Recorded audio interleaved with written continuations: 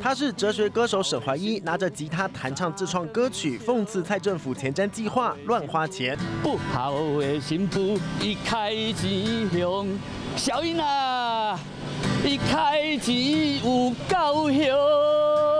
不止创作歌曲骂沈怀义，有朋友陪同前往立法院无限期绝食，要用最激烈的动作让蔡政府觉醒。如果这政府还要强行的通过，那是完完全全的背弃的这个民意。民众不满前瞻预算没花刀口上，上个月经济部长李世光听取台电核四停建后财务报告，封存负债的两千八百三十八亿，因为前瞻八千八百亿预算排挤。不止工业大户，每户要平均分担七百多万，家庭用户每户也要多支付五千六百块。这个报告是这么的不堪的话，那我想百姓也不见得会支持啊。我觉得没什么必要，看起来好像还没什么用。我觉得把钱在计划钱省下来，就可以去补那些东西了你不要合嘛，对，啊，你就只好去承担。只是算一算，民众被扒两层皮，前瞻乱花钱，但合适乱账还是由全民买单，民众荷包缩水，很有感。在外界的民众不赞成的前瞻立法院再闯关，恐怕民怨一发不可收拾。